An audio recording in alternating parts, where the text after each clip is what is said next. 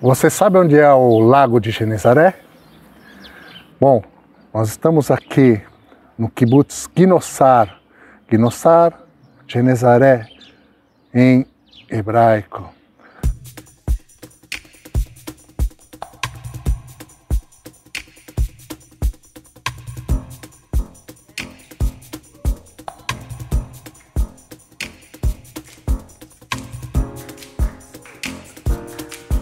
O Lago de Genezaré é uma, uma baía, uma entrada, um lugar tranquilo, um lugar onde os barcos podiam parar fora do mar da Galileia. Faz parte aqui do mar da Galileia. Então, queria ler para vocês a passagem de Lucas 5, onde Jesus estava aqui, declarando a palavra de Deus.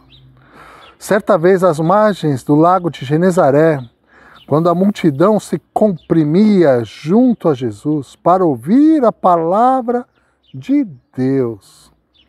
Ele viu dois barcos junto à praia e os pescadores haviam desembarcado e estavam lavando suas redes. Os pescadores já estavam lavando as redes, já tinham voltado do seu trabalho de pesca. Entrando em um dos barcos, que era de Simão, pediu-lhes que afastasse um pouco da terra. Sentando-se no barco, ensinava as multidões. Então ele entrou no barco de Simão, que viria a ser Pedro, e se pediu para Simão se afastar um pouquinho da, da praia para que ele pudesse ensinar a todos que estavam aqui, que todos pudessem vê-lo sem ter nenhuma aglomeração em torno e ouvir com atenção a palavra de Deus. Quando acabou de falar, ele disse a Simão: Vai para mais dentro do mar e lança as vossas redes de pesca.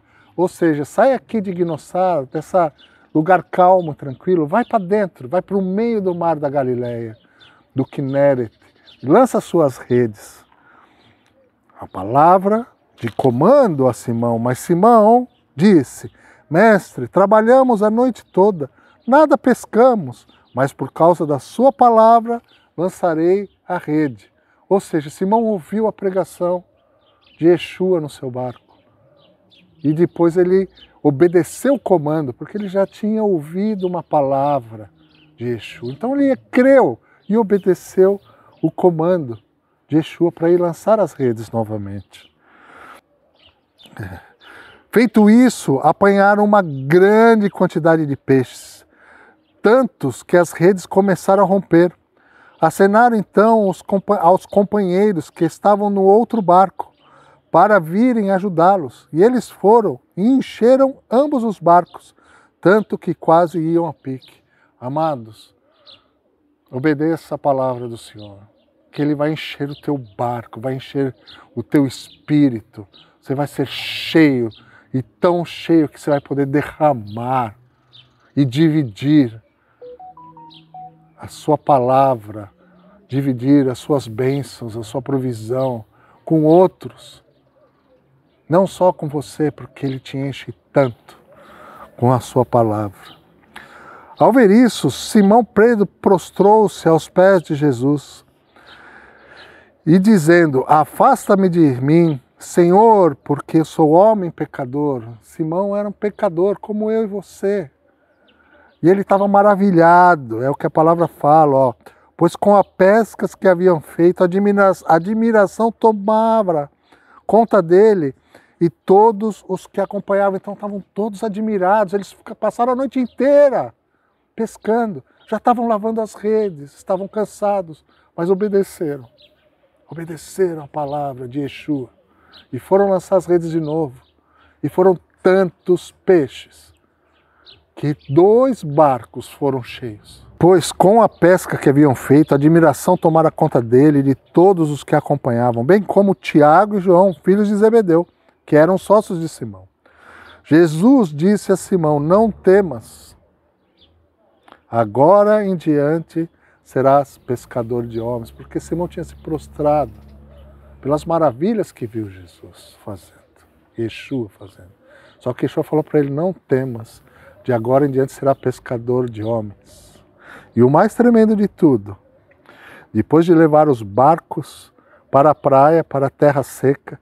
Eles deixaram tudo para trás. É o que está escrito na palavra. E seguiram Yeshua. Então, quando nós ouvimos a palavra do Senhor, nós abrimos mão de tudo para seguir a palavra dele. Eu e minha família, nós ouvimos a palavra do Senhor. Vá para a terra que eu te mostrarei. E nós abrimos mão da nossa família, da nossa parentela, literalmente de tudo. Esse mês faz nove anos que nós estamos aqui em Israel. Eu, minha esposa e cinco filhos. Nós lideramos esse ministério de oração, de cura, de libertação, de adoração ao Senhor, de abençoar aqueles que necessitam. Queria orar por você nessa hora. Pai, em nome de Yeshua, Senhor. Que essa palavra não volte vazia, mas que possa encher os corações dos meus irmãos. Que eles possam receber, Senhor, a palavra do Senhor que eles possam ser cheios para transbordar, porque a Sua palavra é água viva, Senhor. E nós queremos transbordar, Senhor, transbordar da Sua palavra, sermos cheios do Teu Espírito, para transbordar do Teu amor, da Tua graça, da Tua misericórdia, da Tua provisão, por que não? Todos nós precisamos de provisão. Nós vivemos pela fé e precisamos de provisão. Então, meus amados, Quero te abençoar aqui, direto de Gnossar, Genezaré, do Mar da Galileia, Israel. Em nome de Yeshua, eu te abençoo nessa manhã. Shalom, shalom.